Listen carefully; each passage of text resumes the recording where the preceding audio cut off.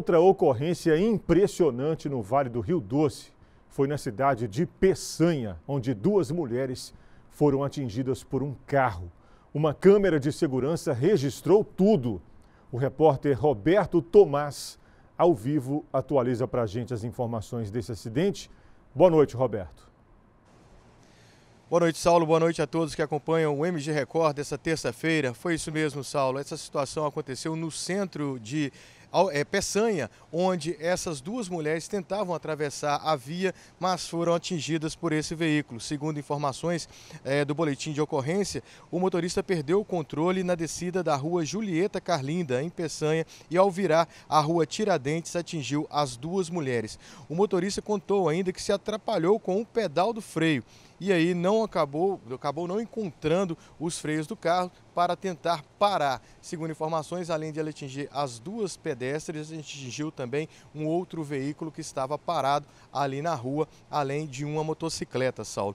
Segundo informações, a mulher de 69 anos, a Maria das Graças Madeiras, Madeira, ela foi socorrida para um hospital e deu entrada no centro de, de terapia intensiva em estado, estado grave, mas veio a óbito na manhã de hoje devido às gravidades dos ferimentos. A acompanhante dela, a Cléria Maria Alves da Costa, de 37 anos, foi atendida por uma ambulância e levada para o Hospital Santo Antônio com lesões e também permanece em observação. A Polícia Civil, Saulo, vai dar sequência às investigações e o caso é, foi registrado como uma lesão corporal grave pela Polícia Militar. Então, um boletim de ocorrência aí confirmando uma lesão corporal grave.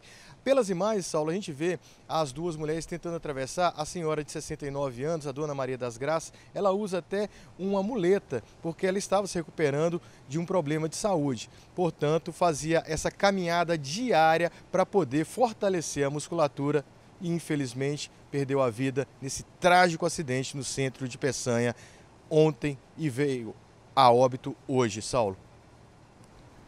Imagens impressionantes. Obrigado, Roberto. Daqui a pouco a gente conversa mais.